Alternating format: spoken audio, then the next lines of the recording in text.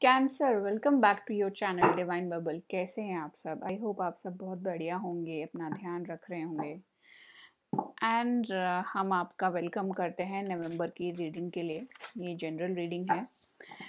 हम नवंबर के महीने से लव एंड रोमांस की एक सेपरेट रीडिंग बनाएँगे। आप उसको भी चेकआउट करिएगा अगर आपको स्पेशली सिर्फ़ लव एंड रोमांस की रीडिंग में इंटरेस्ट है। तो कैंसर चलिए स्टार्ट करते हैं। कि नवंबर 2020 में आपके लिए क्या एनर्जीज हैं जनरल तीन कार्ड्स निकालेंगे हम एंड ज़रूरत पड़ी तो क्लैरिफाई करेंगे। ओके कैंसर के लिए क्या एनर्जीज हैं tarot there is some travel Cancer कोई प्लान है आपका? वो प्लान आप पूरा होते हुए देखना चाहते हैं, उसके लिए आप काफ़ी मेहनत कर रहे हैं and you are looking forward to it Cancer के लिए प्लीज़ बताइए टैरो नवंबर ट्वेंटी ट्वेंटी कैसा रहने वाला है? नवंबर ट्वेंटी ट्वेंटी कैसा रहने वाला है?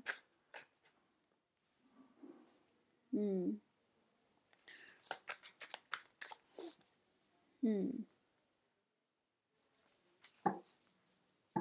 काफ़ी बढ़िया कार्ड्स हैं आपके लिए कैंसर और मुझे ऐसा लगता है कि ये क्या डेवलपमेंट होने वाली है, अभी इसकी आपको भनक भी नहीं है। आपने अपना स्टेप तो उठा लिया है आगे काम करने के लिए, मैं देख रही हूँ कि प्लानिंग एग्जीक्यूशन सब आप कर रहे थे। लेकिन आपको नहीं पता है कि एक्चुअली में ये क्या चीज़ें हैं जो होने वाली हैं। आप मेहनत कर रहे हैं, लोगों के साथ बातचीत कर रहे हैं कम्युनिकेट कर रहे हैं। डिफ़िकल्ट सिचुएशन में हार नहीं मान रहे हैं और लगातार अपना काम करते चले जा रहे हैं। इट इज़ वेरी गुड यही बेसिक मटेरियल होता है सक्सेस के लिए। आई सी दैट कैंसर तो ये थ्री ऑफ़ वॉन्ट मुझे बताता है कि आप इसके लिए बहुत लंबे टाइम से काम कर रहे थे। ये जो भी नया प्रोजेक्ट है ये इतना भी नया नहीं है। थोड़ा सा तो पुराना है। आप इसके लिए काफ़ी टाइम से काम कर रहे हैं। एंड uh, ये एम्प्रेस यहाँ पे बताती हैं कि आपकी करंट सिचुएशंस में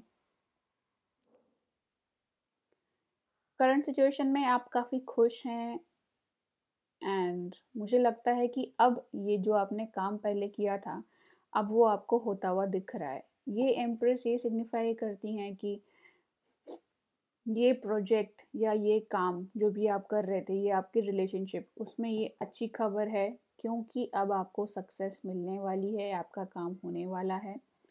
प्लस ये आपको बहुत ओवरबर्डन नहीं करने वाला है पहले की तरह। आप अब बैलेंस करना सीख गए हैं which is signal to me by the temperance तो कैंसर देखते हैं कि एम्प्रेस यहाँ पे आके आपके लिए और क्या विशेष दे रही हैं? What is this empress year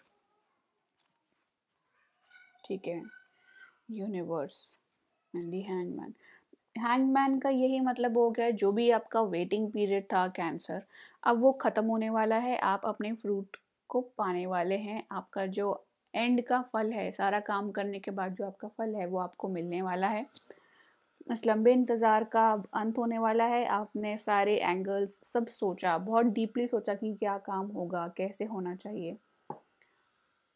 and मैं देखती हूँ, द यूनिवर्स कार्ड, ये अब जो साइकिल है आपकी, ख़त्म होने वाली है, काम करने वाली, इंतज़ार करने वाली, अब आपको रिज़ल्ट मिलने का टाइम आ गया है। रिज़ल्ट मिलने का टाइम आ गया। ये काफ़ी टाइम बाद आया कि आपने अपनी एक्सपर्टीज़ बिल्ड करी खुद को बिल्ड किया अपनी खामियों को समझा मुझे क्या डेवलपमेंट करना चाहिए आपने वो समझा। It is going to be very great okay let's see one more card empress के लिए। हमको चाहिए वन मोर कार्ड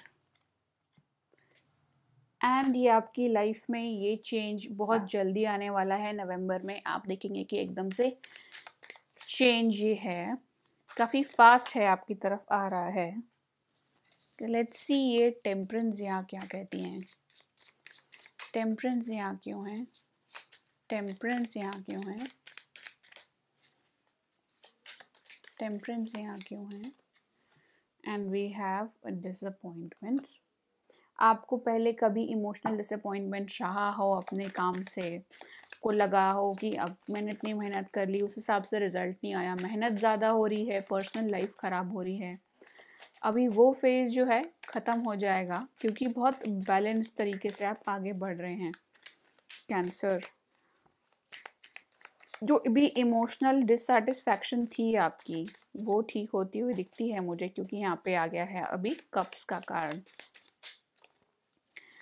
जब एम्प्रेस देख रही हैं आपके इमोशंस की तरफ़, साथ में टेम्परेंस है तो नो डाउट आपका जो भी पहले का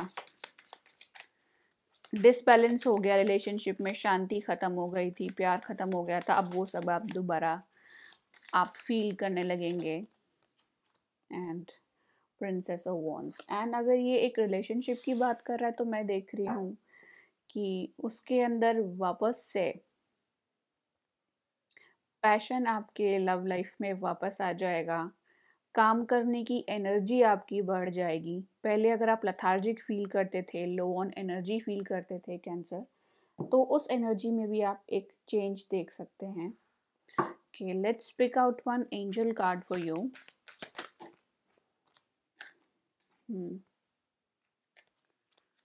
ये हम नहीं लेंगे इट सेज अनलाइकली जो भी डिसअपॉइंटमेंट पहले जो भी आपने झेली हैं अभी वो दोबारा तो आपके साथ नहीं आने वाली हैं।